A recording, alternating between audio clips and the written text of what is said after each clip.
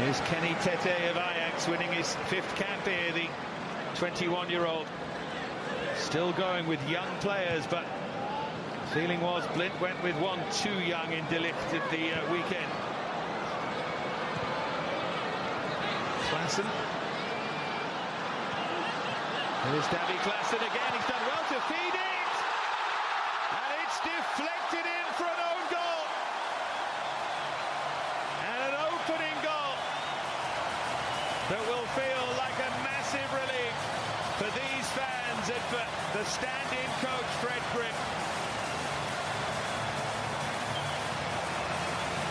Finally, the men in orange have something to cheer.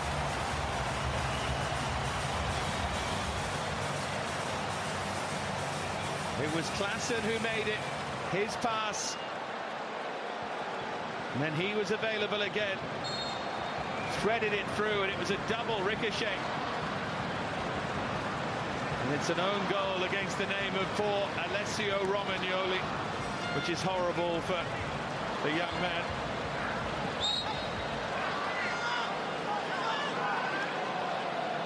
Nothing he could do.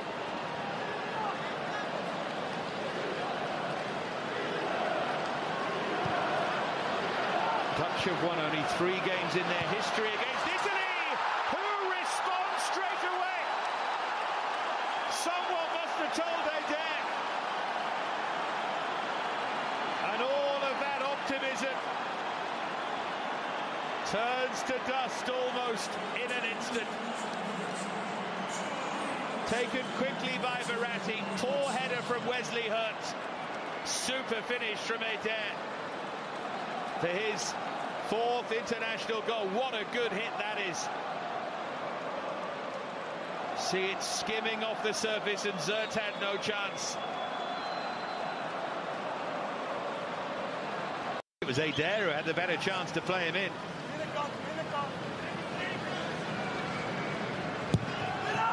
Verratti's corner, touched on, great save!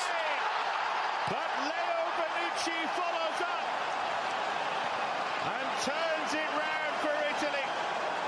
It was the Dutch who led, but it's Bonucci with his fifth international goal who does what Italy normally do against the Netherlands. Scores and puts them in the lead.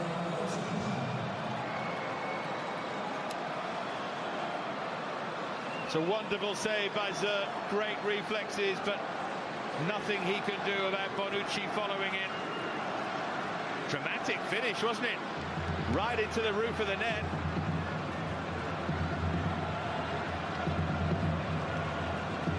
He enjoyed that.